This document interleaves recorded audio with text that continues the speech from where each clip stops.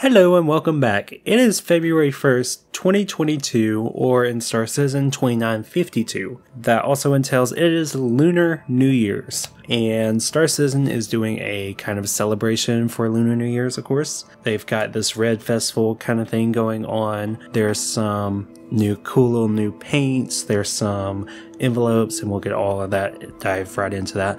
This event is going to last from January 31st through February 15th the little red envelopes, there are envelopes scattered all across Stanton's major hubs, uh, major landing zones like Orison and New Babbage and so forth. And you can actually grab all of them. They're kind of reminiscent of the Luminalia gift presents, little things. Um, you can find them, hold on to them, give them to friends, stockpile them on your ship, whatever you want to do. You can also sell them to a trading kiosk. The selling price as of recording this video is 500 Alpha UEC per envelope, which I would say is fair. Some paints have arisen, limited time paints for the Red Festival. There's two years of paints. There's the 2952 paints and 2951, last year's paints, in case you missed out. So, first up in the 2952, we have a Saber Auspicious Red paint for $9, and then a Constellation, any series Constellation, for $11. Both Auspicious Red, they've got a red and nice little gold trim to it. Um, of course, there's a pack of both paints for $17. The ships are on sale as well with that paint. So the Saber with the red paint is $179. The Constellation Taurus with the red paint is $201. Constellation Andromeda with the red paint is $251. And the Constellation Aquila is $321 with that red paint. There's also a Warbond upgrade limited time to the Saber and and the constellation Andromeda, although they do not include the auspicious red paints, so keep that in mind. And in case you missed last year's paints, you've got the Nomad 2951 auspicious red paint for $7, the Freelancer, any series Freelancer 2951 auspicious red paint for $9, or a pack of both for $13.60. As well as Starson has put a little thing in here about the year of the Hull hull, as in the whole ship series from MISC. Now, the Hull A is actually supposed to be flyable in Alpha 3.17, which is coming up very soon. So this was really exciting news. Um, every ship in the Hull series, except for the E, the Hull E, is on sale right now for a limited time. You've got the Hull A for $80, the Hull B for $140, the Hull C for $350, and the Hull D for 400 $150. Again, the Hull E is currently not on sale. As well as with it being Red Festival, there's a Red Festival 2952 screenshot contest on Spectrum. Um, the contest will last from now until February 7th at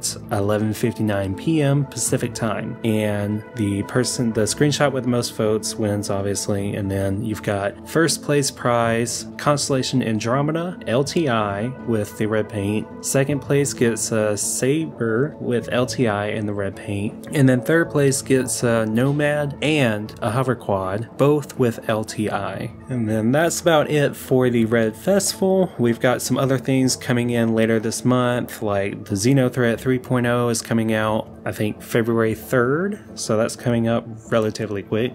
The Hover Quad, I really don't know the situation with that. Uh, I guess it's coming out sometime this month. I originally thought it was coming out in 3.16.1, but I guess it'll be coming out sometime this month. As well as Jump Town is making a reappearance this month as well. There is a free fly starting on February 17th. It's unclear on how long it'll last, as well as a referral bonus. You and the person you refer will get a armor set from Quirinus Tech. It's the lodestone variant of that armor, and a Gemini sniper rifle completely free. And that will definitely help you with your Jumptown adventures.